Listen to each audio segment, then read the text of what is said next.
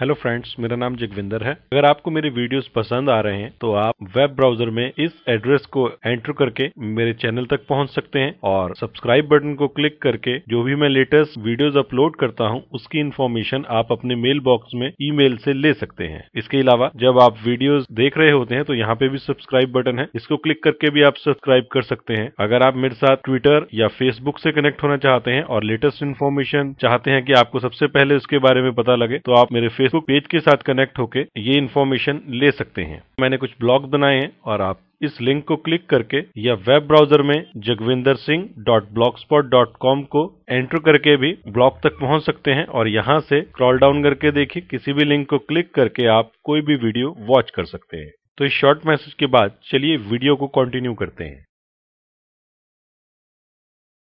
Hello friends मेरा नाम जगविंदर है।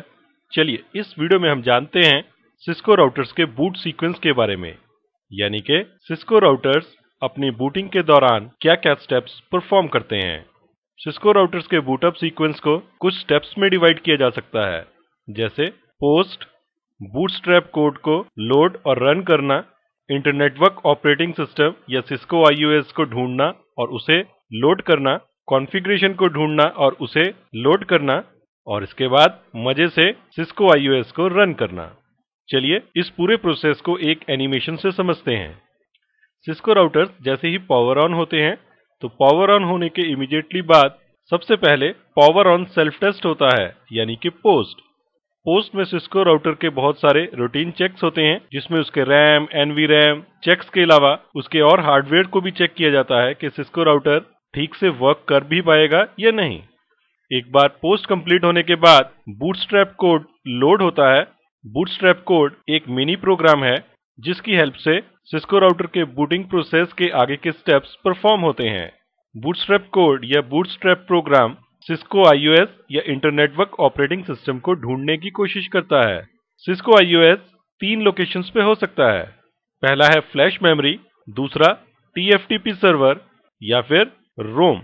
सिस्को राउटर का आईओएस कहाँ से लोड करना है इसके लिए बूटस्ट्रैप प्रोग्राम कॉन्फ़िगरेशन रजिस्टर का सहारा लेता है।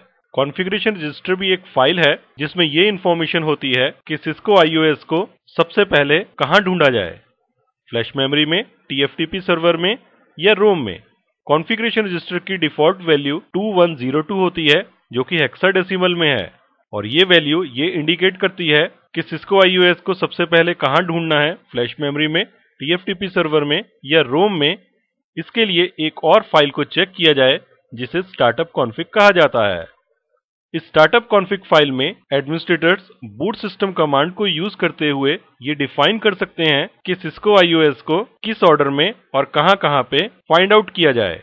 अगर स्टार्टअप कॉन्फ़िग फ़ाइल में ये बूट सिस्टम कमांड कन्फिगर्ड नहीं होती है, जो कि अक्सर देखने को भी मिलता है तो बाय डिफ़ॉल्ट सिस्को आईओएस को सबसे पहले फ्लैश मेमोरी में ढूंढा जाता है। और अगर फ्लैश मेमोरी में भी आईओएस इमेज नहीं है तो उसके बाद इस सीक्वेंस में नेक्स्ट नंबर आता है टीएफटीपी सर्वर का।